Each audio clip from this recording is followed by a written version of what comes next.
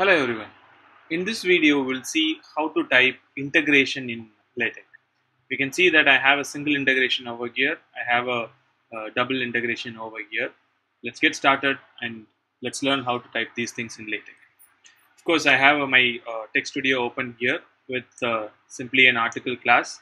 I just have a begin document and end document and I have a section over here. I did not include any packages over there as well. I don't need any packages to write integration as well. So let me start typing.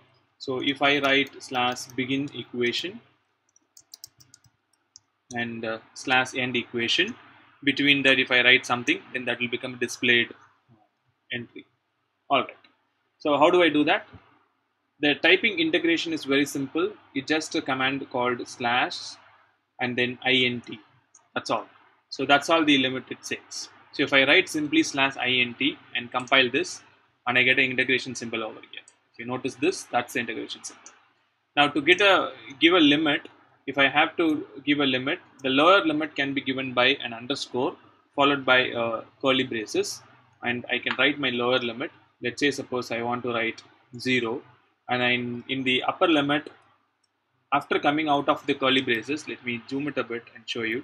And after coming out of the curly braces, if you write a cap symbol, which is usually in your number 6 in your uh, keyboard, uh, just press shift and then number 6, which I think you must be getting the cap symbol over there. And then put another curly braces and write slash uh, anything you want. Let's say suppose 1, that's all.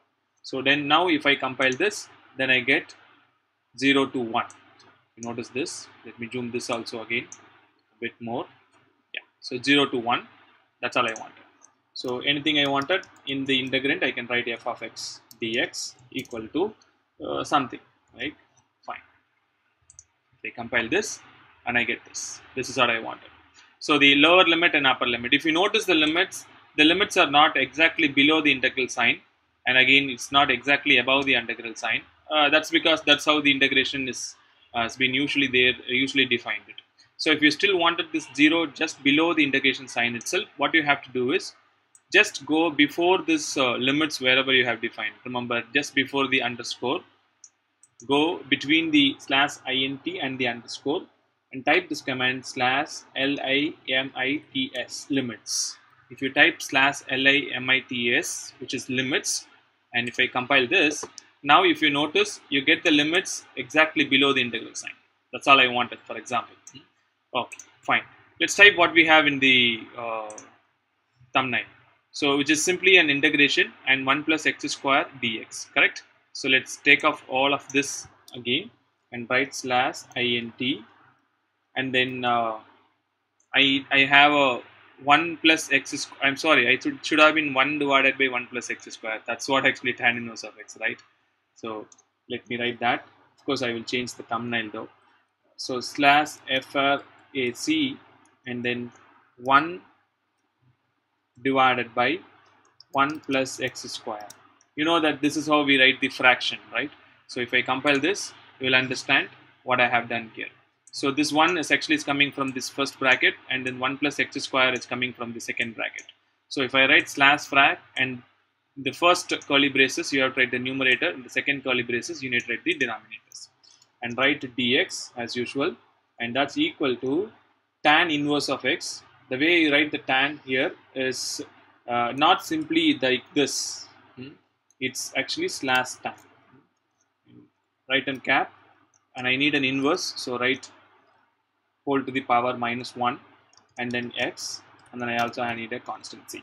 So if I compile all of them together I get integral 1 divided by x square 1 plus x square dx equal to tan inverse of x plus c. That's all I wanted. So second equation which I am seeing in the thumbnail is there are two integrals inside and there is one big bracket also inside and this is the integration. Let me type that.